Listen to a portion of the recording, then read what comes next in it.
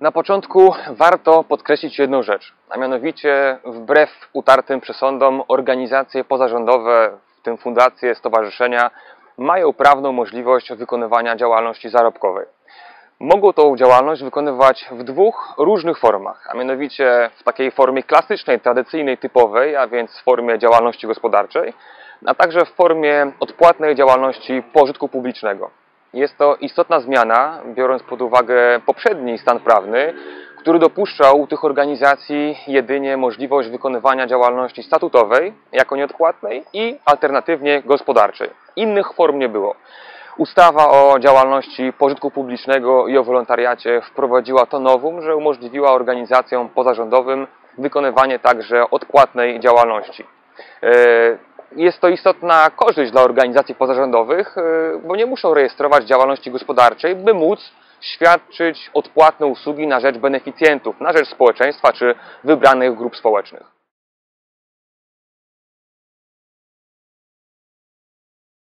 Co do samej odpłatnej działalności pożytku publicznego, ona się przede wszystkim charakteryzuje tym, że organizacja pozarządowa w relacjach zewnętrznych z klientem, kontrahentem, innym podmiotem może pobierać opłatę za usługi.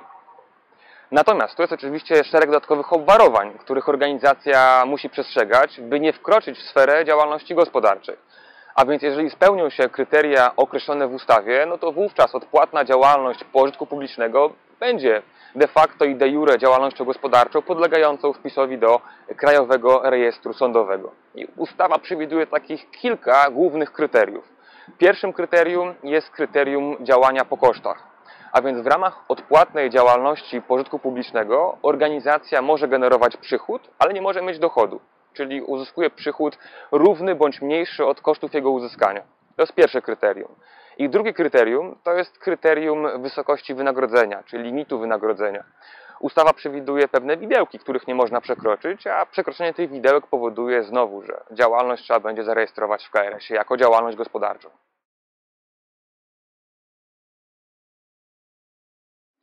Co do drugiego z kryteriów, o których mówiłem, tego kryterium, które delimituje działalność odpłatną od działalności gospodarczej, no to jest kryterium limitu wynagrodzenia.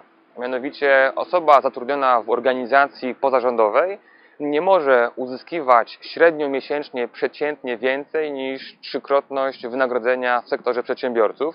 Takie dane publikuje szef GUS-u e, co jakiś czas.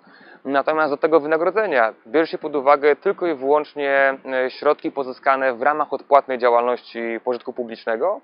E, są to środki pochodzące zarówno z umowy o pracę, jak i umów cywilnoprawnych, umowy o dzieła, umowę zlecenia, umowę świadczenia usług te wszystkie wynagrodzenia się ze sobą sumuje i ta zbiorcza kwota nie może przekroczyć tej, o której mówiłem na początku. Jeżeli limit będzie przekroczony, istnieje obowiązek wpisu e, takiej działalności do KRS-u, e, bo jest to działalność gospodarcza i wówczas organizacja pozarządowa musi mieć status przedsiębiorstwa.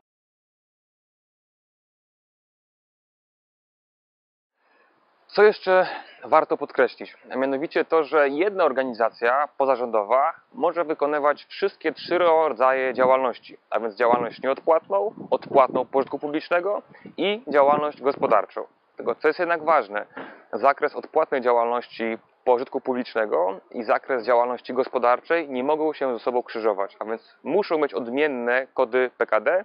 Kody PKD obu tych działalności podlegają zgłoszeniu do sądu. Ponadto, jak stanowi przepis ustawy, należy również każdą formę działalności, aktywności finansowej wyodrębnić w rachunkowości.